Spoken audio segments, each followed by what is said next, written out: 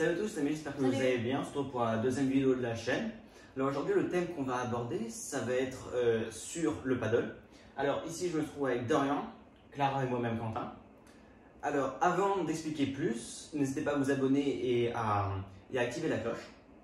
Alors du coup, on va commencer. Déjà, saviez-vous qu'aux États-Unis, les pistes de paddle ont augmenté de 300% euh, ces cinq dernières années? On voit bien ici qu'il y a une expansion de ce sport. De, en 2023, il y a eu un bouleversement qui a provoqué qu'il y a beaucoup plus de, de joueurs de paddle, qui se, qui ont, de joueurs qui ont commencé à jouer au paddle que ces dix dernières années. On va expliquer les raisons plus tard dans la vidéo, alors restez bien à la fin de la vidéo. Euh, le tennis, qu'est-ce qui s'est passé pour le tennis?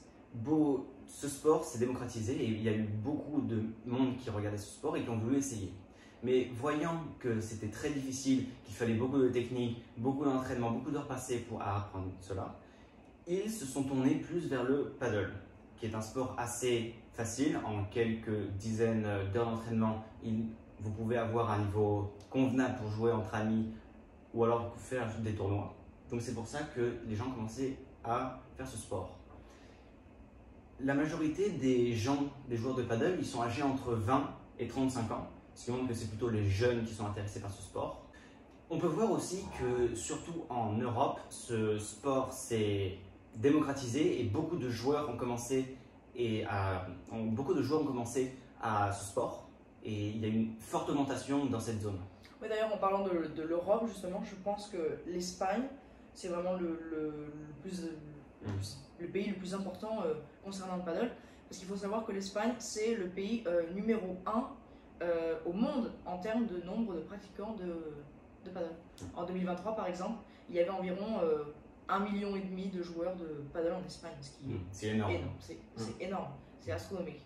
Et bon voilà, après la, la partie la plus amusante de ça, c'est que notre site Expérimentariat, justement, euh, elle incite à la pratique de ce sport. Donc on peut dire que sans le savoir, on s'est mis sur le, Bon créneau. oui, Sur le bon créneau. C'est pas, pas, pas plus mal, hein. Ouais. La chance, mais pour que du bien. Voilà, donc euh, aussi en Espagne, qu'est-ce qui s'est passé Euh, Ils ont, ils ont euh, environ 2000 pistes, alors qu'en France, leur objectif de fin 2024, c'est d'avoir 2000 pistes, donc ils ont une certaine avance. Et voilà. Voilà, donc maintenant on va se poser la question pourquoi est-ce que les gens euh, se mettent-ils à jouer au paddle? Donc il y a deux raisons principales à cela. La première c'est l'influence des célébrités. Donc il y a beaucoup de célébrités, comme par exemple Cyril Hanouna de la TPMP. Donc j'imagine que vous le connaissez déjà.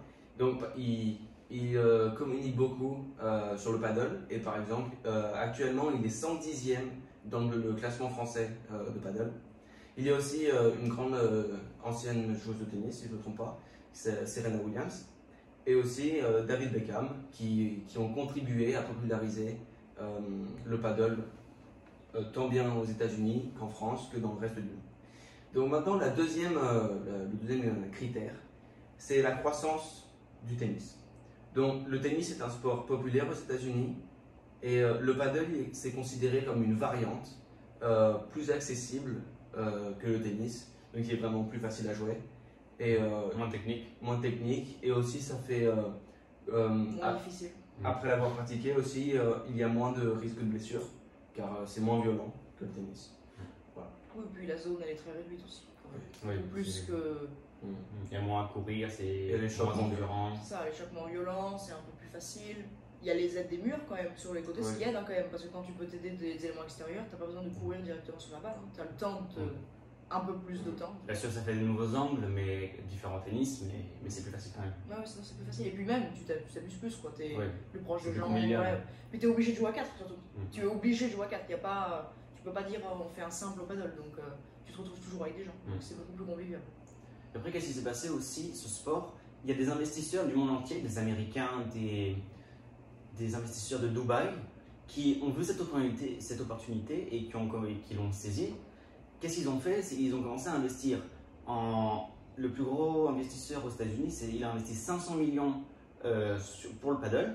Mais à Dubaï, il y a eu euh, un investisseur, le, le, le prince héritier de Dubaï, qui a investi 100 millions euh, pour créer des, pour essayer de développer ce sport euh, au Moyen-Orient, spécifiquement à Dubaï.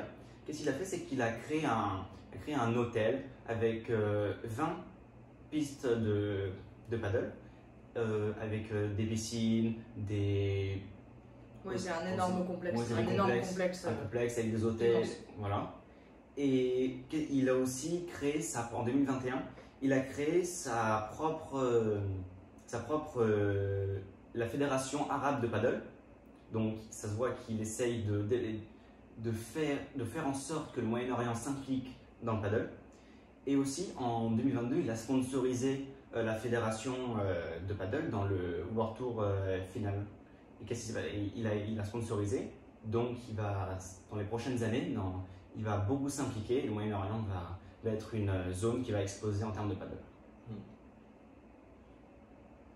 Voilà. euh, Voilà, donc voilà. Est-ce que vous, bah, quel est votre avis vous sur le paddle concernant ça Qu'est-ce que vous en pensez Euh, Est-ce que vous voulez, ça vous donne plus envie de, de le pratiquer Est-ce que tout ça, euh, ça vous motive plus à le faire ou au contraire, euh, ça vous dit pas tant que ça? Qu'est-ce que- Quel est votre avis sur, sur le paddle Donc, euh, mon, avis, mon avis principal sur le paddle, euh, donc au début, on avait, euh, c'était l'année dernière, on a acheté une raquette et on a commencé à jouer au paddle, à faire des tournois, quelques tournois.